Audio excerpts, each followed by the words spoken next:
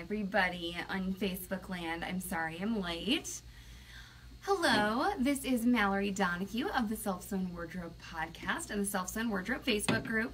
This broadcast originally appeared in the Self Sewn Wardrobe Facebook group, so if you want to be part of a really fabulous, funny, intelligent sewing community, go to facebook.com slash groups slash self sewn wardrobe and you can request to join and I will approve you and you will meet lots of fun people. In fact, uh, something fun that somebody posted earlier this morning, uh, Mary did, uh, she said that Facebook was kind of depressing her, so she um, asked that we all post something like funny or pretty that we had made. So if you want to go check out that thread that Mary um, started, um, I think a, a, few people have already posted in it, and I, I can't wait to see. And I'm gonna try and find the picture of my dog in her sweater because I think it's hilarious.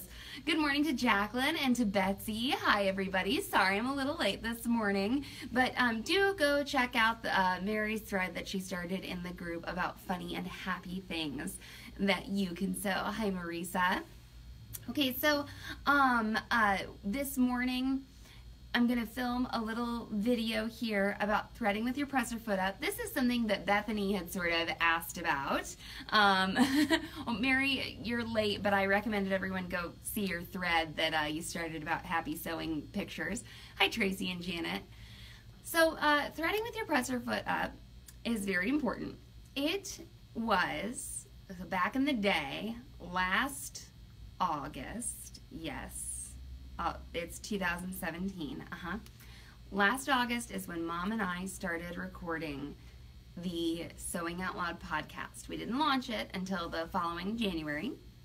So our podcast anniversary, I think, is like, it may have passed us, but um, the Sewing Out Loud podcast anniversary, you know, the one year anniversary, is um, is is uh, j- just happened or it's now or something like that. I can't remember. Um, I'll have to go look. But this was the first episode that the first topic that we covered in so, in the Sewing Out Loud podcast. So if you have not gotten a chance to listen to the Sewing Out Loud podcast, there's a whole other sewing podcast, and it's mom and it's me, and we release it every Friday. And threading with your presser foot up is so important. It is so essential and vital to your success as a stitcher, okay? So problems can arise from not threading with your presser foot up. And I'm to talk about those, but first I'm going to show you what it looks like when you raise and lower your presser foot. Um, I'm actually to go around to the front of the table and I'm to kind of hold the machine up close to the camera uh, with the, I was to do it with the covers on and actually, let's see, let's see how much we can see it here. There's, I bet the video quality is, is not that great. I'm, I'm just going to take the cover off here. Uh, this is the Baby Lock Sofia, and she's my friend because she is so small that she fits in the frame very easily. Um, and I, I love her. So there's a little Phillips screw. And the cover for the Sofia comes off really easily that was I I hope I get more graceful as the day moves on. Okay, so I didn't I didn't have to shake it very much. Okay, I'm gonna take the screw off. Don't let your machine covers fall off your machine. Uh, that's not a good idea. Inside the front cover, the Sofia, what this is is it's a needle threader. Uh, it's your needle threader lever and uh, it, it moves the needle threader so it can come down and, and be fabulous and thread your needle for you. Um, and uh, yeah, normally I have to kind of like shake it to get it off. I think I've taken this off for somebody recently though, but oh gosh, it looks like, you know, the Terminator in here, right?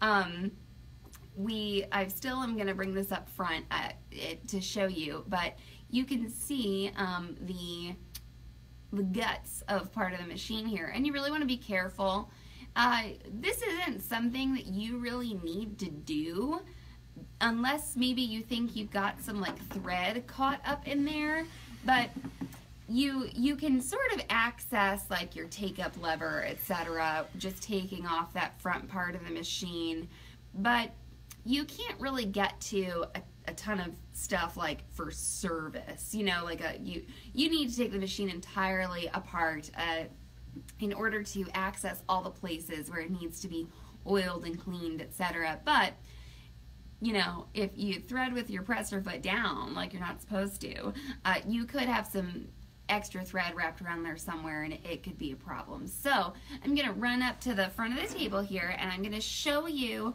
where the tension disc is that moves when you um, uh, when you raise and lower your presser foot. So I'm going to take the mic with me. You all are always so nice about me changing formats here. Sorry, podcast listeners, if the sound changes extremely. Okay, I'm going to get the machine. And the machine is not on while I'm doing this. Oh, oh yeah, that's going to be good. Okay, so I'm going to figure out a way to hold this.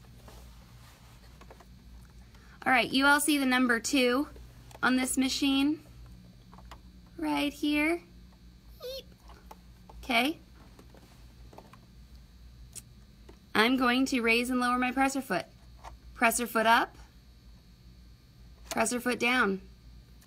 Presser foot up. Presser foot down. Up. Down. Up. Down. All right. So, um, when you have the covers on the machine, you can sort of look in there on this machine and see that moving. Um, so, I hope we get this video edited and up on YouTube because Bethany said she wanted to share it to, uh, you know, talk to some people about how how uh, how this mechanism works, why we insist upon you threading with your presser foot up, and I mean honestly, if you tell somebody to like thread with their presser foot up and they're like super resistant to it, like maybe just stop talking to that person. Yeah, um, no. I mean, it's a worth a try, right? Okay. So this concept applies to almost every sewing machine that you're going to be using, okay? Um, it doesn't apply, the, the machines to which it does not apply are some like sit down mid-arm quilters or long arm machines where the tension disc is out from the machine and you have to you still need to get the thread in there but it's just there's no presser foot lever okay? Um, but that's a very specialized uh, you know situation okay?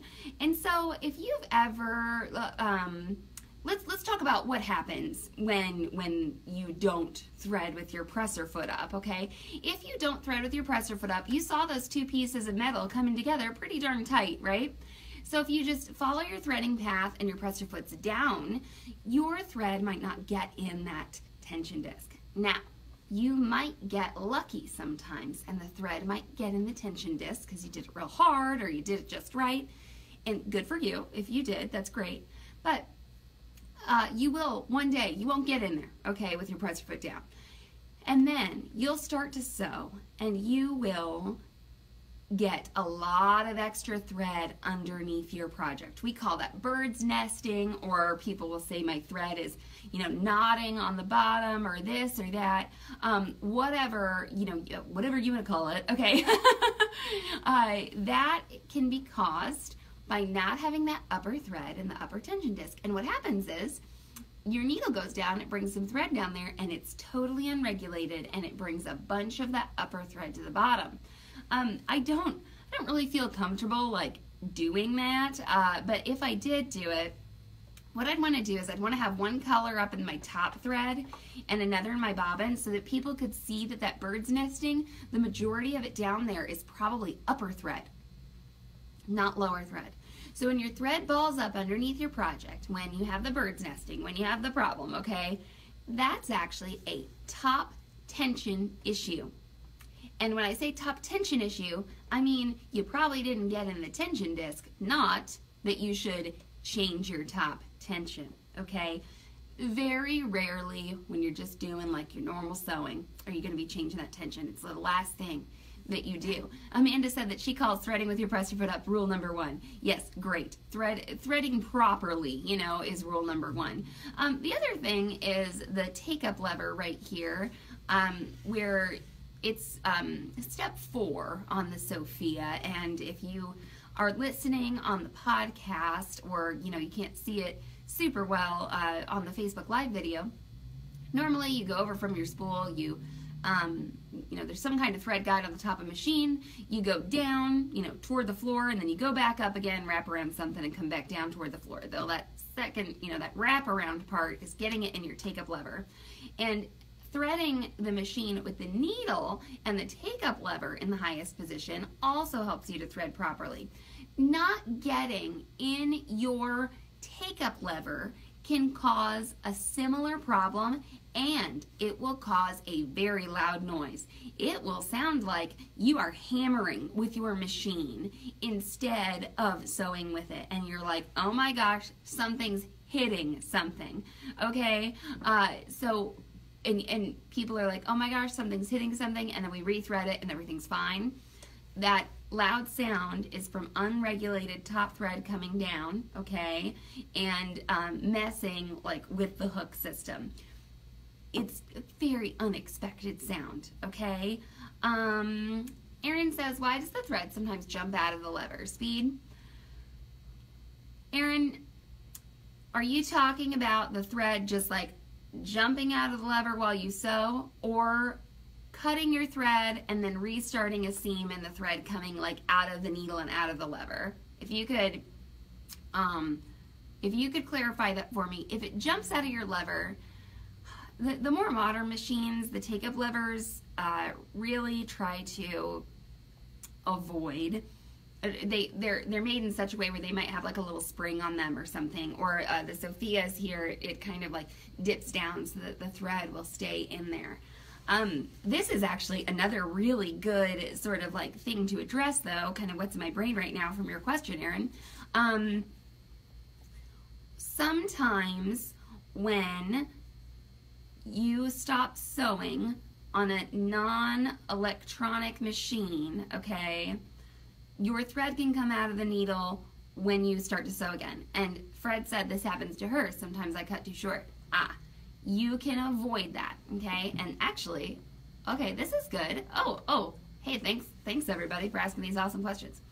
Okay, I'm turning the hand wheel right now toward the stitcher, or toward toward like you, like you're you're facing the machine, okay? Um, the machine's back is to me, okay? Um, so when you move the hand wheel towards you right now, see the take up levers going down, Okay, and then we keep moving it towards you and it goes down and then it starts to come back up again, right? And it meets its highest point and then it starts to come back down, okay? If you have a mechanical machine that kind of like stops wherever, right?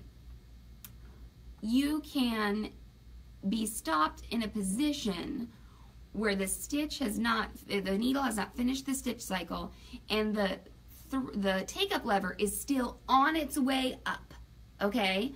Uh, so Fred said, can I avoid it by cutting longer? You can, um, but what you can also do is you can move your hand wheel so that the take-up lever is in the highest position, okay?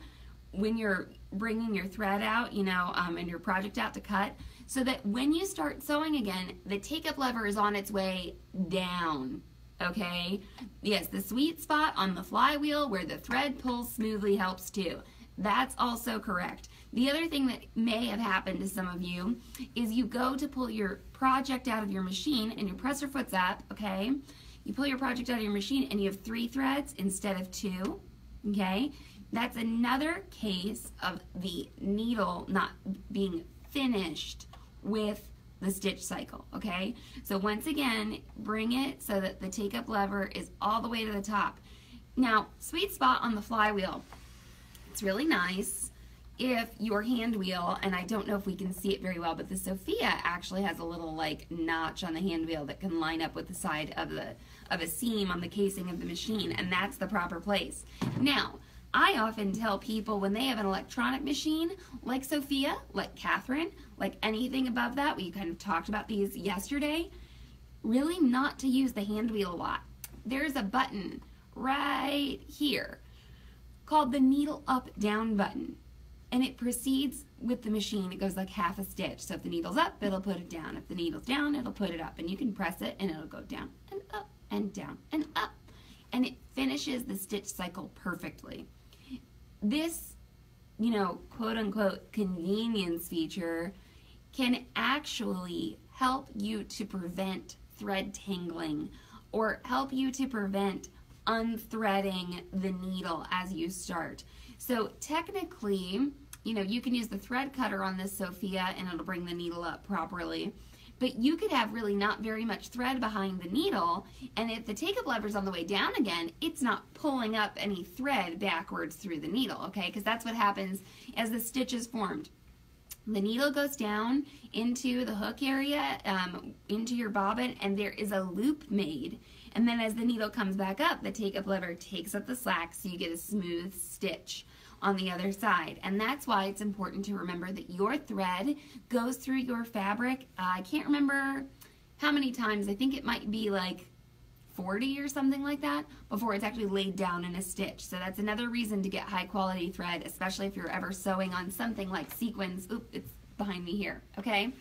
So that is very, very important. Learning these sort of what do I want to say? Uh, learning how the machine works like this, I think, can really help you to troubleshoot. I remember kind of learning about the three thread thing and being like, oh, the stitch cycle's not done. There's like still a loop of thread down there.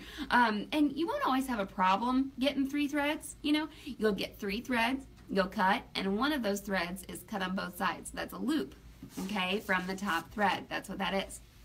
Um, and once again, I don't really feel comfortable like duplicating that situation because I don't want to hurt the machine. um, so that is, uh, now Erin answered me. She said that sometimes her thread just like flies out of her hand wheel. Make sure you're getting in that tension disc and make sure that you are getting in to every thread guide like below the take up lever. Like there's a thread guide above the needle on the Sofia. And what that'll do is keep the thread, you know, properly laying and not give it too much slack to where it can pop out. And Erin, do you have a newer machine? Because, uh, you know, it, like if that's happening on like some brand new machine you bought from a dealer, like, you know, go back to them because that should not be happening. Um, and if it's an older one and there's a part that needs to be replaced or something, but that's not something that I have a problem with on my machine. If you're using slick thread, okay, uh, you can put a thread net on the thread so that you can uh, uh, regulate a little bit of the feed of the thread so we don't get like too much thread going on up there, too much slack maybe that would be popping out of the take-up lever. And Zede, if you know anything else about that phenomenon, you know, let me know if you've got that anything like that. But yet your your thread should not be popping out of your take up lever. That shouldn't happen to you. I would, you know, first of all, all the time check your threading. But then if it's still happening, you know, there might be something maybe you don't know about the machine or something like that. Check that out. And when I say to people, okay, your machine's not working right, are you threading it right? Sometimes they like get offended or something like that. And I've just had to just you know, I might offend somebody. I try to say it in a nice way, but, um, you know, that's what happens to me when I, when my machine's not working properly. I'm like, oh, I must have threaded it incorrectly. I must have missed something. I must have, I don't forget to raise my presser foot so much on my sewing machine, but sometimes, sometimes, I'll forget to do it on the serger, especially when my on your serger you can't see the presser foot lever as well on those four thread sergers um, and so you're like oh everything's fine you know. Uh, and um, so I've, I've, I've if ever my serger is not stitching nicely if I'm getting like loops or something's like too tight or something like that I just always assume you know I just cut and rethread no problem. Now I'm using a baby lock and it's easy to rethread, you know, uh, very, very simple. I don't, you know, I'm not like scared to do it. So, you know, if you've got a serger that is a little intimidating to rethread, really make sure that you use, um, that you, uh, you know, raise your presser foot and do that properly. Okay. Now, on some sergers, uh, some other brands, I've seen that they want you to raise the presser foot, but then they also want you to turn the tension down, like to zero, in order to thread them, and then you know re up the tension. So if your machine says to do that, make sure to pay attention. Okay. Uh, also, your owner's manual. Okay. Um, you, if you look in your owner's manual, everybody could look at their owner's manual right now, and I guarantee you that like on the chapter that's like threading the machine. Okay uh, you will see number one says raise presser foot. It, you know, if it's not number two, after like put thread on machine. Okay, it's there. For I, it needs to be in big red letters though, and it's not. It's it just says raise presser foot, and it should say raise presser foot. You know, okay. so um, I I can't get that across enough. It solves so many problems. We get machines in here for service, and sometimes people will say, you know, I was sewing, everything just went fine, and then all of a sudden, da da da. And if I can rethread their machine and we're sewing just fine, I, uh, you know, I, I, they can they can go with their machine if we rethread it and it's just fine. You know, I, I, I do that. Now sometimes, you know, more is messed up. Now, about, you know, rethreading, not fixing every problem, okay? Um, when you get extra thread down in the bobbin area from unregulated top tension, you can cause other issues, okay? If you don't get all that thread out, if you try to keep sewing, if you try to, um, you know, push the fabric through when you're having trouble or something like that, or you, you hear a loud noise and you think, I'll just push the fabric through harder okay? Um, those can all cause other problems, especially on a machine that's not fixed on flat. And I guess I'll just talk about that because mom has brought it up in the past two live broad, or well, several live broadcasts. Um, and apparently that is one of the differences between um, Baby Lock and Brother. Baby Lock make sure that their machines are fixed on flat. So all the different working parts of their machines, there are, you know, shafts that go into a little insertion points um, in order for everything to move around. And instead of those shafts being all completely round, they have a flat part on them and they're inserted into a little, you know, what looks like a circle, but it is flat so that the machine cannot come out of time easily. The other thing about one of these electronic computerized machines is that if it sends the needle down into a thickness, or maybe you accidentally are trying to sew through like a metal zipper or, you know, a pin that's made of metal, it will stop itself and it will go and it will say safety device activated. Okay. It will also do that if you have some kind of like huge thread tangle up here that's preventing the needle from moving the way it should. It stops itself. So when people say, oh, electronic machines aren't good or something like that, I'm like, you know, yeah, they are. They can prevent a lot of heartache, okay? They can prevent a lot of um, issues. I think I've shared this story before, but I was uh, teaching a how to use your sewing machine class, and a gentleman was in here, and he didn't, he like couldn't bring his sewing machine in or didn't bring it in, so I set him up. I actually set him up on the Baby Lock Rachel, and it's a, is it their first computerized machine? Either the Amelia or the Rachel is, and uh, he said, well, I'm going to sew on something a lot older at home. I, you know, so I envisioned some kind of you know, like older singer or something like that, you know.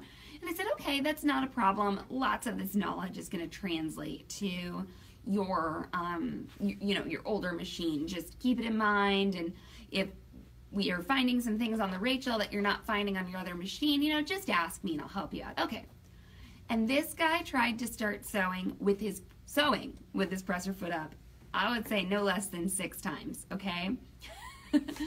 so Rachel goes beep, beep, beep, and it gives you some little error message. I think it's a code on the Rachel because the screen isn't as large as the Sofia. It says like E6. And if you look in the manual, E6 means that you're starting to sew with your presser foot up, and the machine will not let you do that, okay?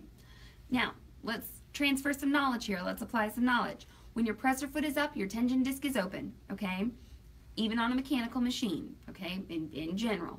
So if you're on a mechanical machine and you have your presser foot up and you begin to sew, your top thread, once again, will be unregulated and you will have the same types of problems that you would have if you had threaded with your presser foot down and not gotten in that tension disc. And it will make a terrible sound and then you're like, oh, my stuff's not moving. Oh, no, oh, no. Um, I'm going to stop. I'm going to, you know, try to clean out this mess of thread that has accumulated un underneath my project. And, you know, uh, it's going to cost you some time, okay? So that is that's my sort of like defense of the more modern machines. I mean, we've got older machines at home too, but you know, the fetishization of the vintage machines is something that really does bother me a little bit. Not that I think you like shouldn't sew on an older machine or something like that, but the idea of it's from a certain year, it's got to be good is just completely incorrect. You don't know how that machine's been treated or maybe you do. Great okay. Um, you you know it could be like broken. A machine from yester you know yesterday could be broken too but let's not be like oh the vintage ones are just inherently better than the modern ones. That's just not how things work okay? You know you see anybody um uh you know driving around a 1950s car just like they do one from you know today. And you know any guy any person who works in the automotive industry will say oh well you can have an older car but it's hard to get parts for. Yep okay. So that's a discussion we've been having when people are talking about buying like used and older machines. Um, it, it is something to keep in mind. So anyway um, maybe I should discuss the use of metal in sewing machine manufacturing next time and people can, you know, uh, we, we can talk about the old, this adage that I hear all the time that says, uh, you know, oh, it's all metal, metal, it's, it's the best. And I can talk about that a little bit and get angry. I think I, I might actually take the machine entirely apart to show you all um, what that means. So if you'd like me to talk about that, let me know and I can do that next week. So um, once again, I apologize for being a little late this morning, but I appreciate all of you who have joined in to watch. It's been fabulous to have you, and I think a few people um, uh, are, you know, learning some things or, or uh, maybe uh, realizing that things that happened to them uh, were, were due to you know, maybe reasons they didn't know about, you know, uh, before. So I'm happy uh, to keep the conversation going about troubleshooting.